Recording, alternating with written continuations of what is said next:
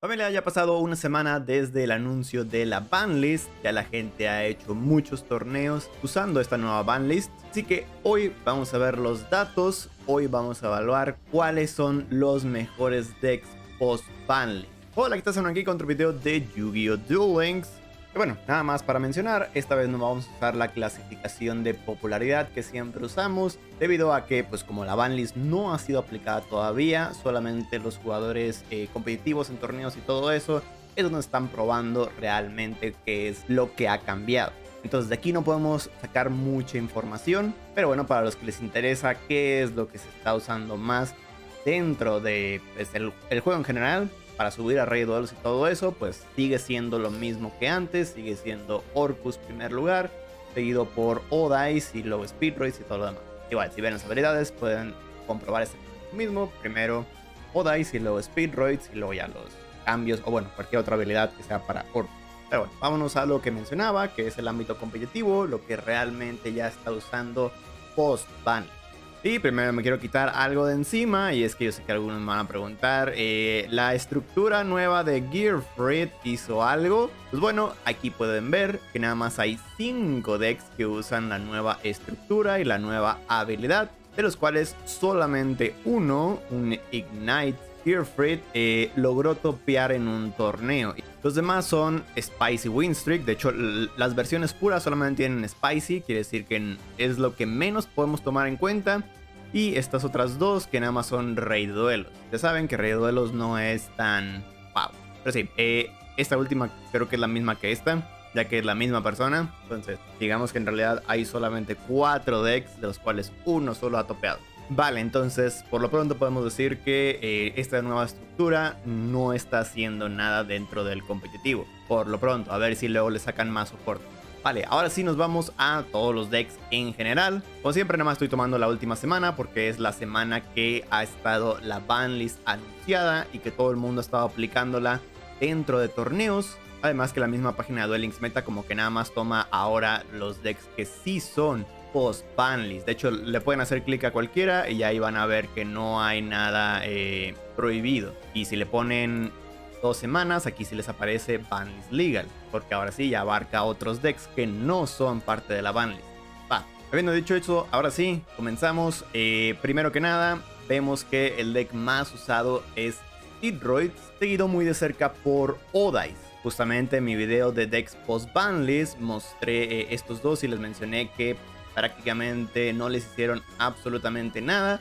E incluso Rocket había sido más tocado que los otros dos, ya que el perder sus cartas limitadas a 3 sí le afectaba más que, por ejemplo, Speedroid nada más perder una sola carta. Y otra cosa que mencionar es que el, los decks de los Odice, la mayoría son eh, decks Orcus Odice. Entonces podríamos sumarlo con los Orcus, podríamos decir que es mitad y mitad esas invocaciones por péndulo le ayudan mucho a lo que es Orcus.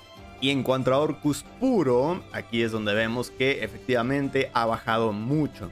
Pasó de estar con setenta y tantos decks a solamente 14 decks. Entonces, para los que decían que la banlist no había hecho nada para Orcus, pues bueno, aquí ya se demuestra. De hecho, incluso aunque sume todos los Odais con todos los Orcus, apenas si llegan a pasar a Speed pero obviamente también tengo que reducir las, los decks que no son Orcus Odai. Y ojita, aún estamos tomando en cuenta lo que son los torneos, el ámbito competitivo. Aquí nada más es el meta en general, güeyes que han llegado a rey de duelos y cosas así. Vale, entonces sí, seguimos viendo los mismos decks, pero ya por lo menos parece ser que ya están más nivelados. Y también ya estamos empezando a ver nuevos decks como Trickstar, como Rey Raptor, el regreso de Salaman Great y el regreso de Go. Dos decks muy queridos por la comunidad. Y bueno, ahora sí nos pasamos a lo que es el competitivo en torneos, qué tantos están usando. Por cierto, eh, casi siempre queremos eliminarlos de Anytime, así que podrían eliminar uno de cada uno de estos. Entonces ya Speedroid, Rocket y eh, el de agua tienen uno menos. Va, entonces, aquí seguimos viendo a Speedroids como primer lugar con 34, casi el doble de lo que tiene el segundo lugar, que es Odice con 19. Entonces, en estos momentos parece ser que Speedroids será el nuevo Tier 1. El nuevo deck más poderoso, el nuevo deck a vencer. Ojito, aún no aplica la banlist, entonces podría ser que esto cambie, pero hasta el momento con todas las pruebas que se ha hecho parece ser que es así. E incluso si contamos Odais como si fueran Odais Orcus, porque la mayoría son Odais Orcus, eh, de todas maneras, si lo sumamos, eh, Orcus no llega a superar a lo que es eh, Speedroids. Le hacen falta 5, de hecho, y ya sabemos que Odais no todos son eh, Orcus. Pero lo que sí es que Gandora también es Orcus. Entonces, por parte de Orcus, sigue viendo mucho. Ya nada más tuvieron que cambiar la forma en la que hacen sus combos, debido a que ya no tienen varias cartas para hacer combos de una sola carta. Ya prácticamente todos sus combos se hacen con dos cartas. El único es el reciclador, el que quedó como combo de uno. Vale. Así como dije, si sumas todos estos decks que usan Orcus, no le llega todavía a los Speed Rates. Apenas si lo alcanza. Entonces, podríamos poner a Odice slash Orcus como nuestro tier 2. Todas las versiones de Orcus incluidas ahí. Y luego nos pasamos a lo que son los Rockets. Ahora sí, eh, están junto con las Trickstars. Como dije, Rocket tenía uno que era de Anytime, entonces nos cambia cuál va primero, cuál va después. Trickstar seguiría teniendo 11, mientras que Rocket tendría nada más 10. ¿Sí va? No hay Trickstar, sí, no hay Trickstar. Vale. Entonces sí, pareciera que Trickstar ya se va a posicionar bien dentro del competitivo. Ya después de varios golpes a muchos decks. Ahora sí, ya lo que tiene Trickstar puede hacer algo. ¿Y dónde pondríamos a estos dos? Digo, porque yo creo que los dos se van a poner en la misma tier list, ya que están muy pegados.